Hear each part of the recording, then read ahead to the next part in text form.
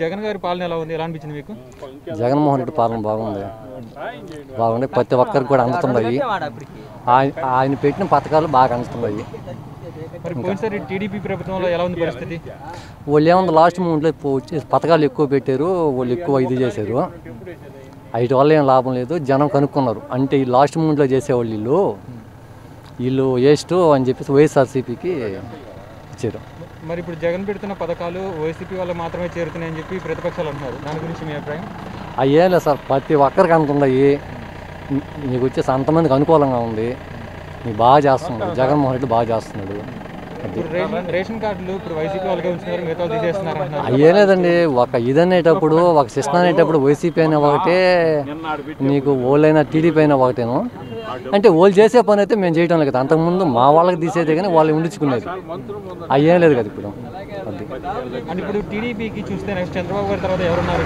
అంటే లోకేష్ గారు ఉన్నారు. లోకేష్ బాబుకి అంత లేనట్టుంది జగన్మోహన్ రెడ్డితో పాటు కదండి. జగన్మోహన్ రెడ్డి అంటే రాజశేఖర రెడ్డి లేనప్పుడు ఈయన వచ్చి జగన్మోహన్ రెడ్డి వచ్చాడు. చంద్రబాబు లేనప్పుడు లోకేష్ బాబు చాలడు. జగన్మోహన్ రెడ్డికి ఎవరు కూడా చాలా బావచ్చు ఈ రాష్ట్రంలో.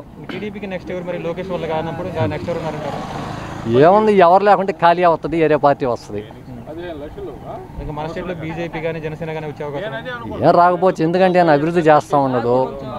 ఏమన్నా చేయాలంటే ఆ పార్టీలు కూడా చెప్తే చేస్తాడు ఇంకా కూడా కొత్త పథకాలు కూడా పెడతాడు కదా.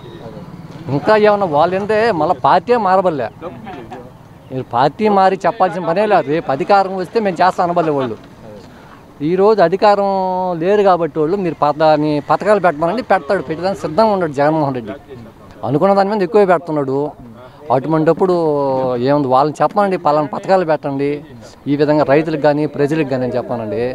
బ్రహ్మాండంగా పెడతాడు మా ఎమ్మెల్యే గారి దృష్టికి తీసుకురమ్మని చెప్పండి. ఎమ్మెల్యే గారు సీఎం దృష్టికి తీసుకోబోతాడు చేస్తాడు కూడా పనులు కూడా.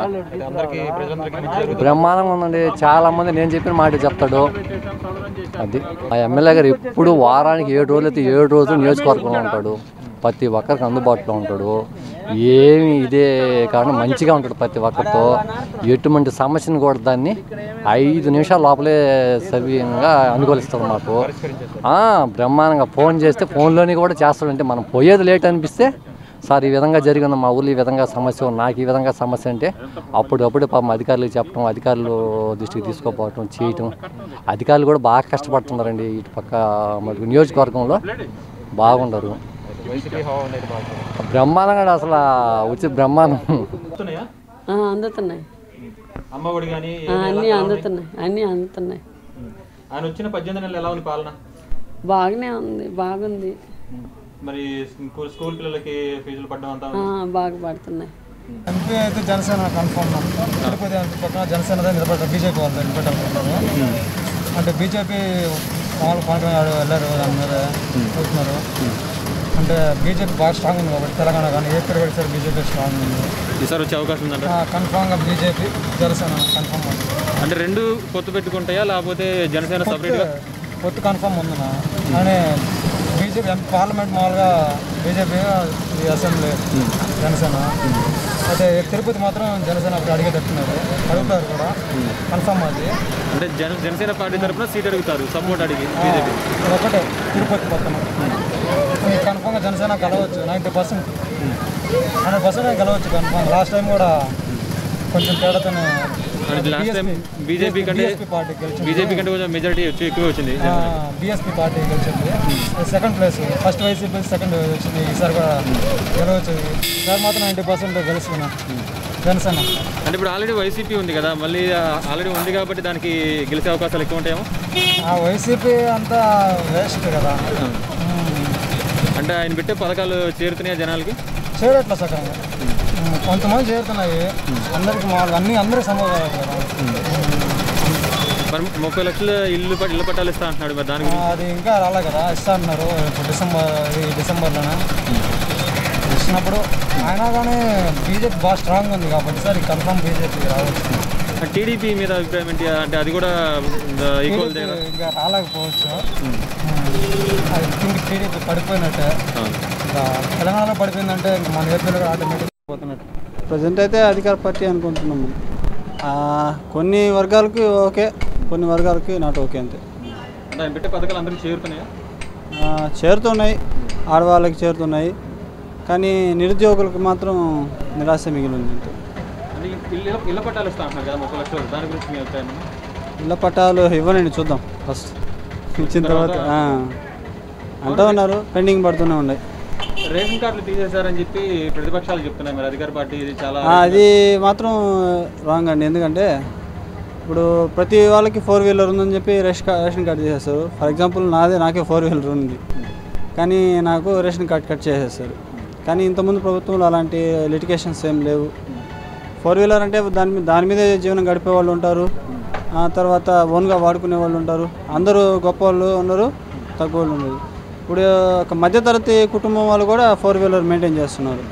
అంటే అది పర్సనల్ కాకుండా ఏదో పనులకు ఉపయోగించుకోవడం ఉపయోగించుకుంటారు లేదా? క్యాబ్. అది అందులో కూడా ఎల్లో బోర్డ్ అని కొన్ని మెయింటైన్ చేస్తారు. కానీ చెప్పలేం కదా ఇప్పుడు ఒక మధ్యతరగతి కుటుంబం ఒక ఒక సొంత కార్ అనేది ఒక కళ. కొనుక్కుంటారు. ఇప్పుడు ఈ జనరేషన్లో కార్ లేకుండా ఎవరు లేరు.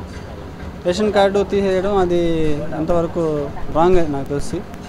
తర్వాత ఇంకోటి ఏంటంటే సంక్షేమ పథకాలన్నీ కూడా దాంతో లింక్ చేసి కట్ చేయడం తప్పదు బీజేపీ ఇక్కడ వేస్ట్ పనికిరాదు. ఎందుకంటే బీజేపీ అనేది వాళ్ళంతా కూడా అది వేరే విధంగా వెళ్తారు. కానీ ఆంధ్రాలో చాలా కష్టం.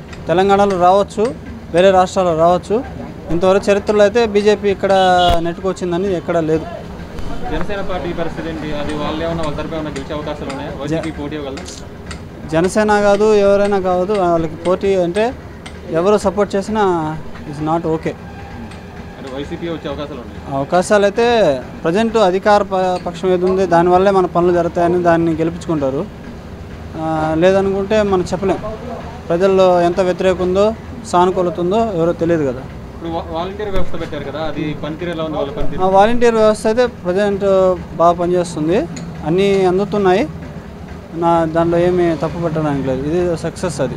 పెన్షన్ కానీ ఇంతకుముందు ఆడవాళ్ళంతా కూడా అదే మా ముసలి వాళ్ళంతా కూడా వెళ్ళి క్యూలో నిలబడుకొని గంటల తరబడి వెయిట్ చేసేవాళ్ళు. ఇప్పుడు ఇంటికే ఉదయానికల్లా చేరుస్తూ ఉన్నారు. రేషన్ కార్డులు తీసేశారంటున్నారు దాని గురించి. కొత్త ఇస్తున్నారు కదా.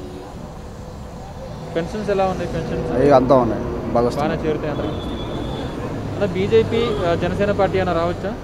బీజేపీ తెలంగాణ వచ్చింది కాబట్టి ఇక్కడ ఏం లేదు. ఇక్కడ మన ఆంధ్ర అంటే కొద్దిగా కష్టంగా ఉంది. చూద్దాం అది కూడా. పోయినసారి జనసేన కూడా కొంచెం మెజారిటీ వచ్చింది కదా ఎంతమంది ఇరవై వేలు అట్లా వచ్చింది కదా. ఈసారి రావచ్చు కొంచెం. పోయినసారి కంటే కూడా పెద్దగా ఏం రాదు కానీ ఈసారి రావచ్చు. కొన్ని డిపాజిట్లు అదే కాకపోయినా కొంచెం ఒకటే రెండు మూడు.